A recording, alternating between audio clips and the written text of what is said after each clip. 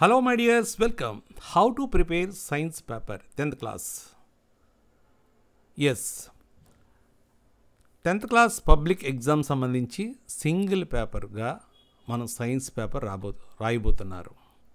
Physical science and biological science ఒకే పేపర్లో మీరు ఒకే రోజు రాసే సందర్భంలో మనకి ఎటువంటి సమస్యలు ఎదురయ్యే అవకాశం ఉంది? వాటిని ఏ విధంగా అధిగమించాలి? మనం ఎలా ప్రిపేర్ అయితే హండ్రెడ్ పర్సెంట్ మార్కులు రాయగలం అనేది ఈ వీడియోలో చెప్పబోతున్నాను. మరి ఇంతకుముందు మీకు చెప్పిన వీడియోలో tenth class public two thousand twenty త్రీలో general science paper model paper ఎట్లా ఉంటుంది అనేది మీకు చెప్పడం జరిగింది. PS fifty marks biological science fifty marks total hundred marks అలాగే క్వశ్చన్ ప్యాటర్న్స్ కూడా ఎట్లా ఉంటుందో కూడా మీకు వివరించడం జరిగింది. ఆ వీడియో కూడా మీరు చూసే ఉంటారు చూడకపోతే వెంటనే చూడండి. ఓకే మై డియర్స్ మరి ఈరోజు మన సబ్జెక్ట్ సంబంధించి how to prepare science paper tenth class it is very very very important ఎందుకంటే ఫస్ట్ టైం మీరు ఒక సింగిల్ పేపర్ అంటే ఇది వరకు ఫిజికల్ సైన్స్ వేరుగా జనరల్ బయాలజికల్ సైన్స్ వేరుగా వేరు వేరు రోజుల్లో రాసేవారు. Fifty marks fifty marks. కానీ ఈ రోజున ఒకే రోజున హండ్రెడ్ మార్క్స్కి ఒకే టైంలో రాయబోతున్నారు. మరి ఇటువంటప్పుడు మనకి పబ్లిక్లో ఏమైనా ఇబ్బందులు వచ్చే అవకాశం ఉందా అంటే ఖచ్చితంగా. ఎందుకంటే main time time is very very important. ఎందుకు? అంటే మిగతా పేపర్ల కంటే ఇక్కడ మీరు విభిన్నంగా రాయబోతున్నారు. ఇక్కడ రెండు మనకి క్వశ్చన్ పేపరు ఒకటే ఉంటుంది. కానీ ఆన్సర్ షీట్స్ అనేవి రెండు ఉంటాయి అనేది మీకు తెలుసు.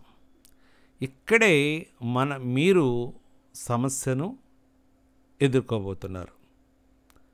ఎందుకంటే ఇక్కడ మీరు ఫిజికల్ సైన్స్ బుక్లెట్ ఒకటి ఇస్తారు అలాగే బయాలజికల్ సైన్స్ బుక్లెట్స్ ఇంకోటి ఇస్తారు రెండు బుక్లెట్లు కూడా ఒకేసారి ఇస్తారు.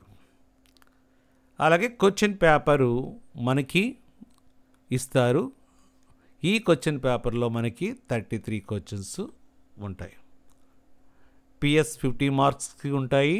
అలాగే మన బయాలజికల్ సైన్స్ సంబంధించి ఫిఫ్టీ మార్క్స్ ఉంటాయి. ఇక్కడ ఒకే పేపర్లో ఫిజికల్ సైన్స్ బయాలజికల్ సైన్స్ ఉన్నప్పుడు మనం ఏది ముందు స్టార్ట్ చేయాలి అనేది మీ ఇష్ట ఇష్టాలను బట్టి ఆధారపడి ఉంటుంది. ఓకే మీరు రెండిట్లోనూ మీకు ఇంట్రెస్ట్గా ఏదుందో ఆ సబ్జెక్ట్ను మీరు స్టార్ట్ చేస్తారు. No problem. క్వశ్చన్స్ రాస్తూ ఉంటారు. ఓకే? అది ఫిజికల్ సైన్సా బయాలజికల్ సైన్సా అనేది. అలా రాస్తూ మీకు వచ్చిన క్వశ్చన్లు అన్నీ రాసేస్తారు. అప్పటికి సమయం రెండు గంటలైపోయింది. ఓకే? చాలా బాగా రాశారు. దాదాపు చాలా క్వశ్చన్స్ నైంటీ పర్సెంట్ ఆ పిఎస్ రాశారో ఎన్ఎస్ రాశారో అది రాసేస్తారు నెక్స్ట్ మరి ఫస్ట్ ఫిజికల్ సైన్స్ రాశారు అనుకుందాం. ఇది పిఎస్. మరి బయాలజికల్ సైన్స్ సంబంధించి ఇక్కడ టైం ఎంత ఉంది? అంటే ఒక గంట ఉంది.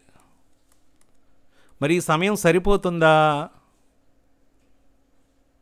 ఇదే ముఖ్యమైన విషయం.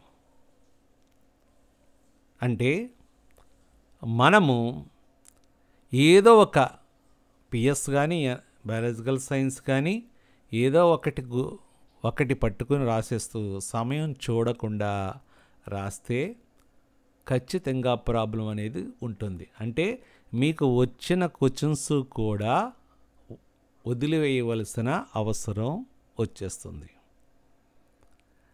ఎందుకంటే సమయం ఉంది కదా అనుకుని జనరల్గా ఆలోచిస్తూ ఉంటాము. నెక్స్ట్ పేపర్ గురించి మర్చిపోతూ ఉంటాం. కాబట్టి మీరు ఖచ్చితంగా ఏం చేయాలంటే రెండు సబ్జెక్టులకి న్యాయం చేయాలి. న్యాయం చేయాలంటే ముందు మీరు టైంని రెండిటికి కేటాయించుకోవాలి. ఖచ్చితంగా మీరు ఆ యొక్క వాచ్ని తీసుకెళ్ళండి. చేతికి పెట్టుకోవడానికి సమయం చూడటానికి. మొత్తం మనకి త్రీ అవర్స్ అవునా? ఓకే. నా సజెషన్ ఏంటంటే రెండిటికి one and half one and half ఇస్తామనుకో ఇవ్వాలి అనుకోండి. మొదటి వన్ అండ్ హాఫ్ ఒక సబ్జెక్టు మిగతా వన్ అండ్ హాఫ్ ఇంకో సబ్జెక్టు అనుకుంటారు. నా సజెషన్ ఏంటంటే ముందుగా మీరు చేయవలసింది ఏంటంటే ఫస్ట్ టూ అవర్స్.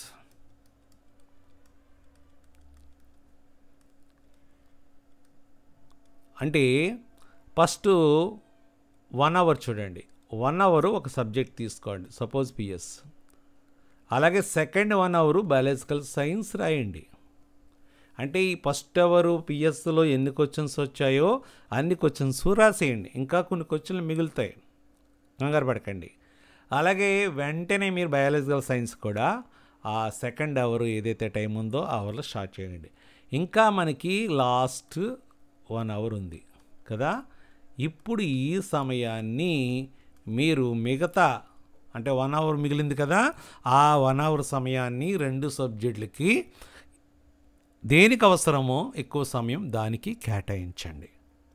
ఆ విధంగా మనము పిఎస్ ఎన్ఎస్ రెండింటికి న్యాయం చేస్తాం అన్నమాట అర్థమైంది కదా అందరికీ? ఇప్పటి నుంచే దీనికి సంబంధించి మీరు ఒక అవగాహన అంటూ ఉండాలి. ఖచ్చితంగా.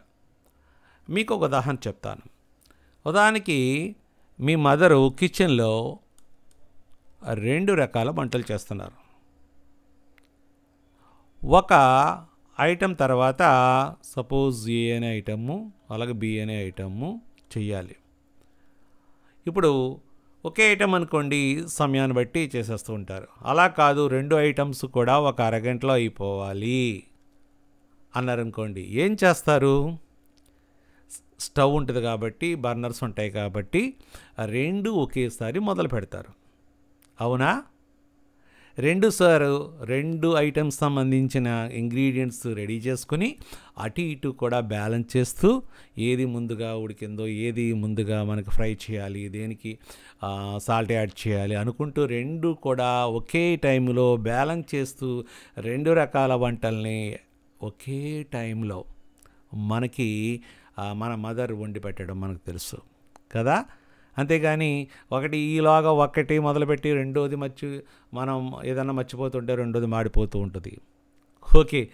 మీ మదర్ ఎంత మనకి చాలా ఇంట్రెస్ట్గా చాలా అంత బాగా చేస్తారో మీరు గమనించి ఉంటారు అదేవిధంగా ఒక బ్యాలెన్స్డ్ టైం బ్యాలెన్స్ చేసుకుంటూ టైంని బ్యాలెన్స్ చేసుకుంటూ రెండు సబ్జెక్ట్స్ని మీరు జాగ్రత్తగా రాయవలసిన అవసరం ఉంది.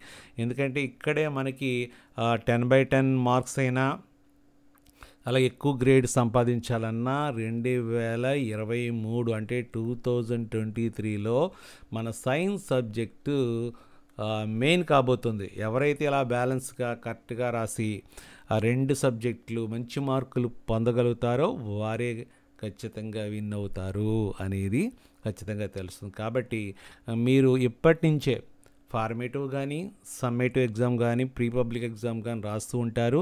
ఇక్కడ టైం అనేది మీరు చాలా బ్యాలెన్స్డ్గా చేస్తూ రెండు సబ్జెక్టులకి న్యాయం చేస్తూ ఆ రెండు విడివిడిగా మనకి ఆన్సర్ షీట్లు ఇచ్చినప్పటికీ బాగా రాయవలసిన అవసరం ఉంది. ఓకేనా? మరి నేను ఫిజికల్ సైన్స్ సంబంధించి మోడల్ పేపర్లు మీకు వన్ బై వన్ అందించబోతున్నాను. వాటిని కూడా చూడండి. ఓకే ఫ్రెండ్స్ మరి ఇప్పటికైనా ఛానల్ సబ్స్క్రైబ్ చేస్తే థ్యాంక్ యూ సో మచ్ లేకపోతే వెంటనే సబ్స్క్రైబ్ చేయండి. అలాగే మీ యొక్క కామెంట్స్ని పోస్ట్ చేయండి. మీ ఫ్రెండ్స్ కూడా షేర్ చేయండి. Thank you